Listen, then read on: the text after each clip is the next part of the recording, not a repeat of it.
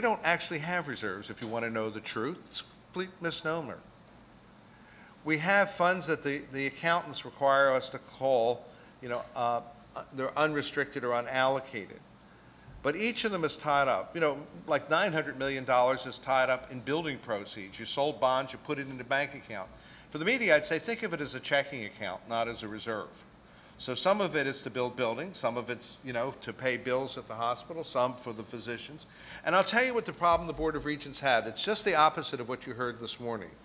Your risk is, in the last 14 months, our reserves, so-called, are down, I suspect, at the end of the day, by one-third. And the free reserves are gone. That is, the ones that really were not encumbered. That is, they weren't for the residence hall and things like that. You better be alert, and I will be alert, that we are not out of reserves in another year. We actually spent over $300 million in the so-called reserves in the current year, which is more than all the cuts combined for the furloughs. The furloughs were 184 million. We hit 300 million for the reserves, and we're still counting.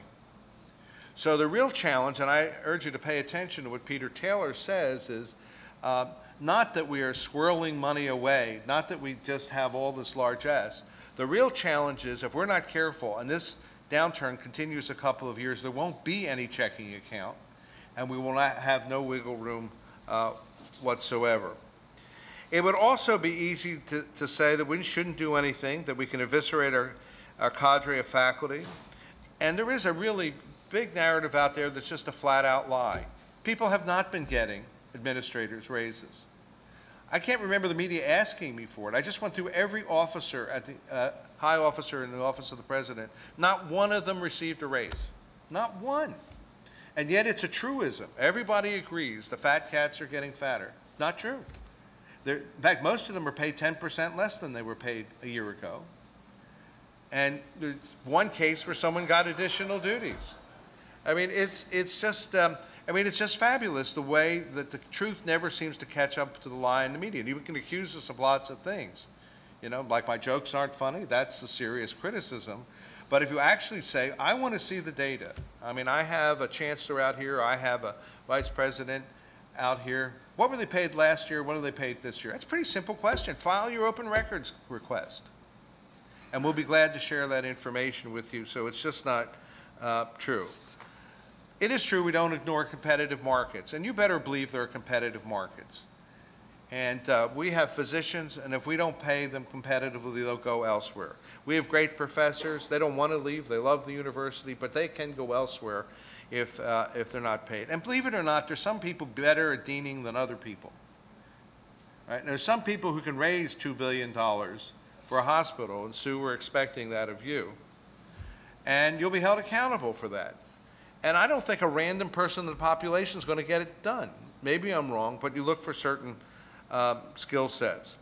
So I don't think there are any easy ways. There's not a reserve. Uh, there are uh, that can be used in the, in the fashion uh, that is being uh, suggested. Uh, the salaries of the administrators aren't being raised. You know, occasionally someone does two jobs. Apparently that's a sin to pay someone for doing two jobs, even though you save money, so we're stopping doing that. And even if you saved all those salaries, it wouldn't come near to the budget cuts that we face. So there are no cheap and easy solutions. I mean, it is just a flaw in the grand narrative that's been put forth.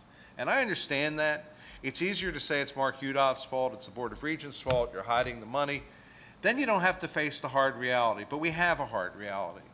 And I do wish, and I say this with all respect, I wish some of the union leaders that are appearing, I want them to go to the homes of the people who were laid off and I want them to explain why they would not negotiate a furlough one day a month so that those people would not be laid off. I want them to explain it to their children and to their husbands and to their wives, why it is they did that.